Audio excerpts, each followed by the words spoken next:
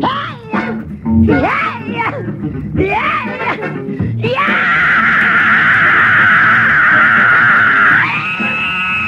is a test of the emergency broadcast system. I have